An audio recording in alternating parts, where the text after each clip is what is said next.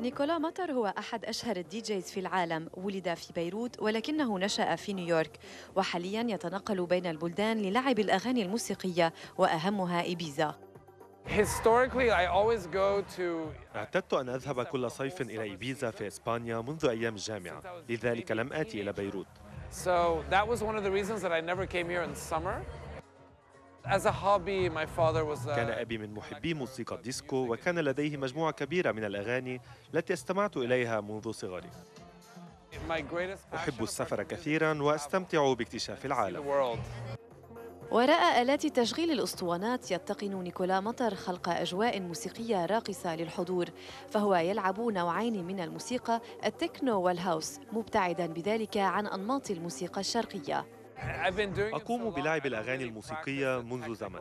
لذلك لم. أعد أتمرن على التقنية. ولكنني أحضر دائما قائمة الأغاني التي سألعبها.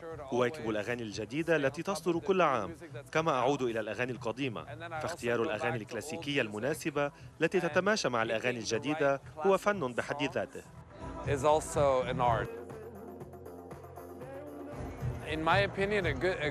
برأيي الدي جي الجيد هو الذي يعرف كيف يختار الأغاني المناسبة ويسلسلها بطريقة جيدة. وهذا أهم بكثير من التقنية التي يعتمدها.